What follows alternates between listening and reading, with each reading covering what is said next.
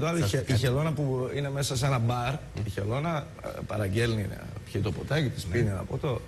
Πίνει δεύτερο ποτό, πίνει τρίτο ποτό η χελώνα. Γρήγορες τα ποτά Τέλος έχει. πάντων, πίνει τέταρτο, ναι, έχει πιει, έχει πιει. Ήλθε εδώ το λογαριασμό μου, πόσο χρωστάω, τόσα. Δυστυχώς δεν έχω τόσα, λέει η χελώνα. Και ήλθε να πιει εδώ τζάμπα και αρχίζει ένα σκαυγάς και τι νομίζω ότι είμαστε εδώ και πώς κάνεις έτσι και όχι πώς κάνω έτσι. Ο μπάρμαν τα έχει πάρει στο κρανίο. Και τέλος πάντων ε, χ- χάνεται λίγο η ψυχραιμία. Την αρπάζει λοιπόν τη χελώνα ο μπάρμαν, τη δίνει μια κλωτσιά και τη στέλνει στο διαόλου το φρύδι τη χελώνα. Οχτώ μήνες μετά μπαίνει η χελώνα μέσα στο μπαρ και του λέει αυτό που έκανες ήταν απαραίτητο. Μαγκέστελη τώρα, εσύ τώρα.